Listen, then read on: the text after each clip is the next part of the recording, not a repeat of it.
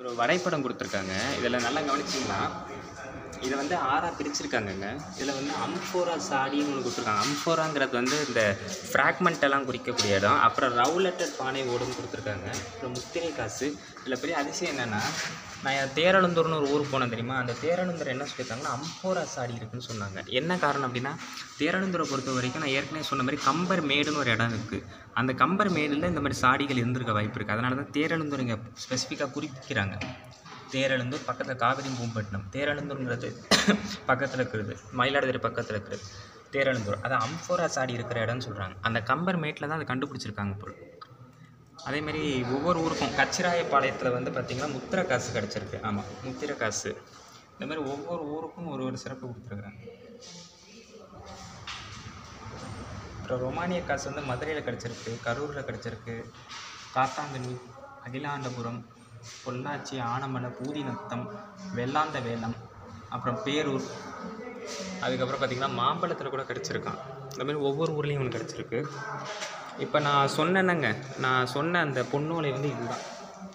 இது முழுக்க முழுக்க அது எழுதுனது இதில் உள்ளதை தான் வந்து அவங்க மேலே வந்து சொல்லியிருக்காங்க. ரொம்ப நல்லா இருக்காங்க. நான் ரொம்ப நாள் கழிச்சு வந்து பார்க்குறேன்.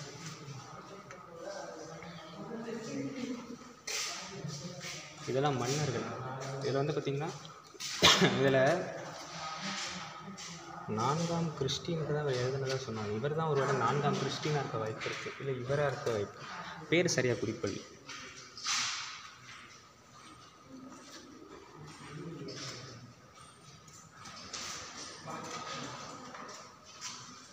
இது வந்து பார்த்திங்கன்னா பெத்தலகம் தேவாலயம். இப்போ இது இந்த ஊர்லேருந்து பக்கத்தில் ரெண்டு கிலோமீட்டர் தள்ளி தே பொறையாறுன்னு ஒரு ஊர் இருக்குது அங்கே உள்ள தேவாலயம். இது மாதிரி ஒவ்வொரு இதுவும் கொடுத்துருக்காங்க. அதேமாதிரி இதெல்லாம் வந்து பொருட்களுங்க. ஆஷ் கண்டெய்னர் அப்புறம் வந்து கோட்டை நுழைவாயில் உள்ளது. அதுக்கு பூட்டை பாருங்கள் எவ்வளோ பெரிய பூட்டை பாருங்கள் அந்த காலத்து பூட்டு. சிவலிங்கத்தை பாருங்களேன். மரத்தாலே செய்யப்பட்ட நாகலிங்கம்.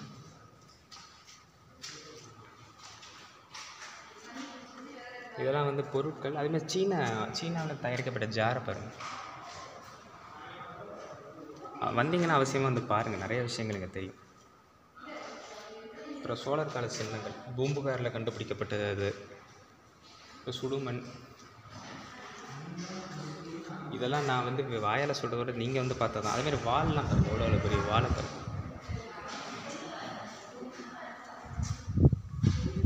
அந்த காலத்து இது என்னன்னு தெரில இது அந்த புவி மாதிரி இருக்குது உள்ள ஏதோ இது ஒரு ஓட்டை மாதிரி இருக்குது இதில் போட்டு இதுலேருந்து அடிப்பாங்க போல். எப்படியும் அடிப்பாங்க போல் என்னன்னு சரியாக தெரில ரொம்ப வித்தியாசமாக இருக்கும் இதெல்லாம் கப்பலில் கிடச்ச பாகம் எல்லாமே இரும்பு. கப்பல் பாகங்கள் இதெல்லாம். ஸ்க்ரூ டிரைவர் எவ்வளோ பெரிய ஸ்க்ரூ மாதிரி இருக்குது பார்த்தீங்களா? அந்த காலத்தில் மிகப்பெரிய உருவங்களாக இருந்தது.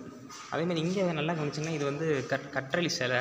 இது வந்து பெண் சிலையாக இருக்கிற காரணத்தினால இது வந்து மேபி நாராயணி அம்மன். ஏன்னா இங்கே சங்க சக்கரம் இருக்கிற மாதிரி இருக்குது அதனால் இந்த நாராயணி அம்மனாக இருக்க வாய்ப்பு இருக்குது இங்கே இங்கே ஒரு கல்வெட்டு இருக்குது பாருங்களேன். இது ஒரு இது ஒரு கல்வெட்டுங்க ஆக்சுவலாக இதில் வந்து பார்த்திங்கன்னா இந்த ஊர் கோவில் இறைவன் பேரை கொடுத்துருக்காங்க.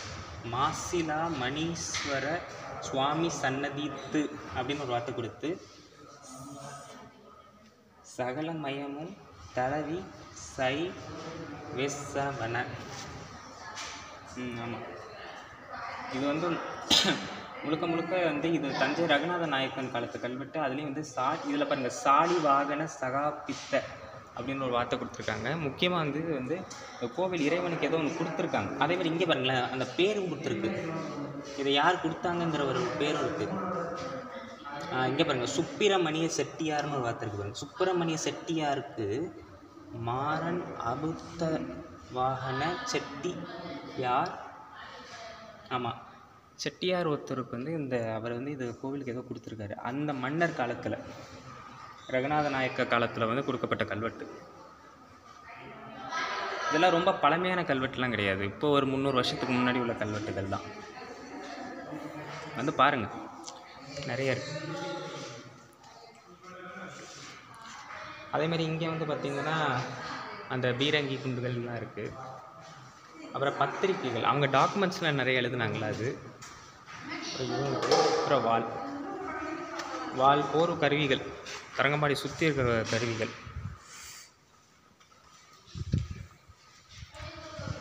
ஏ அப்பா இதான் வேளாமீனா இங்கே பாருங்க இதான் வேளாமீன் வேளாமீன்னு சொல்லுவாங்கள்ல வேல். அந்த வேளா மீனோட முள்ளுங்க. அப்பா இவ்வளோ பெரிய முள்ளா இருக்குது ரொம்ப நல்லா இருக்கு ரொம்ப நாள் கழிச்சு வரேன் இங்கே. இது ஆ அப்பா. தீனி போடுற அளவுக்கு நிறைய விஷயம் கிடச்சிருக்குங்க. இதோ பாருங்க. சூரிய கடவுள். சூரியன். சூரியனோட சிலை. இது கிட்டத்தட்ட ஆயிரத்தி இரநூறு வருஷம் சிதம்பரத்தில் கண்டுபிடிக்கப்பட்டதாக சொல்லப்படுது. போட்டிருக்கு. சிதம்பரத்தில் கண்டுபிடிக்கப்பட்டதாக சொல்லப்படுது. இது வந்து கோட்டை நுழைவாயிலில் இருந்த அலங்கார பொருள். பாருங்க. அலங்கார பொருள். பரவாயில்ல. இவங்க அதெல்லாம் சேகரித்து வச்சு பண்ணுறது ரொம்ப நல்லா இருக்கு. சாஸ்தாங்க. சாஸ்தா.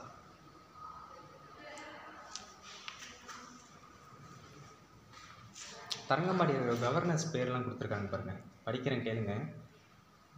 ஓக் ஜெட் ஜெடே ரோலன் கிராப்பே பன் பசட் வில்லியம் லேயல் பால் ஹான்சன் கோர்சர் எஸ்கில் ஆண்டர்சன் பொங்ஸ் பேக்கே Henry Eckers Siward Atal Adler Peter Paul Axel Juul Wolf Heinrich B கேல்னைன் Christian park M. Hartmann Christ park Klaus Vogt Andreas Andre ஒருத்தவங்க கூட கும்பல கிடையாது. எல்லாம் ஆம்பளைங்களாக இருந்திருக்கானுங்க.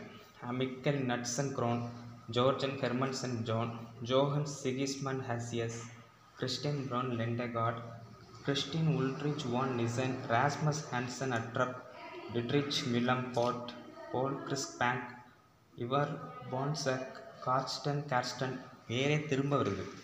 ஹான்ஸ் எர்னஸ்ட் பான்சக். அதில் என்ன சொல்கிறாங்கன்னா மேபி டெட் இன் ரூட் அது மேபி டெட் இன் ரூட் அப்படின்னா வர வழியிலே அவர் இறந்துருக்க வாய்ப்பு இருக்குது தரங்கம்பாடி வர வழியிலே அவர் இறந்துருப்பார்.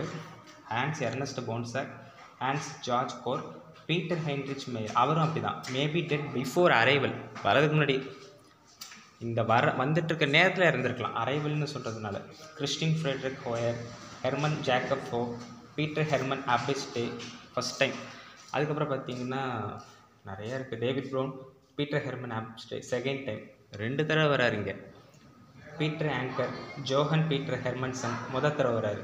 அப்புறம் அப்புறம் இங்கே நல்லா கவனிச்சிங்கன்னா ஆயிரத்தி எண்ணூற்றி எட்டுலேருந்து ஆயிரத்தி எண்ணூற்றி பதினஞ்சு வரைக்கும் இங்கே இங்கிலீஷ் கவர்மெண்ட் அதாவது பிரிட்டிஷ் கவர்மெண்ட் இருந்திருக்கு. இடையில இடையில பக்கத்து பக்கத்தில் வந்து சண்டை போட்டிருந்த காரணத்தினால ப- ஏன்னா பக்கத்தில் காரைக்கால் வந்து ஃப்ரெஞ்சு கவர்மெண்ட்டாக இருந்தது. சமயத்தில் அது மாறுபட்டுக்கிட்டே இருந்தது. அதனால தான் இங்கே இங்கிலீஷ் கவர்மெண்ட் ஏன்னா இதுவும் டேனிஷ் கவர்மெண்ட்டில் இருந்துச்சு. நாகப்பட்டினமும் டேனிஷ் கவர்மெண்ட்டில் இருந்துச்சு. அதனால தான் நாகப்பட்டினத்துலேயே சில டேனிஷ் பொருட்கள் நமக்கு கிடைக்கிற வாய்ப்பு கிடைக்கும் இப்போ நிறைய இருக்குங்க.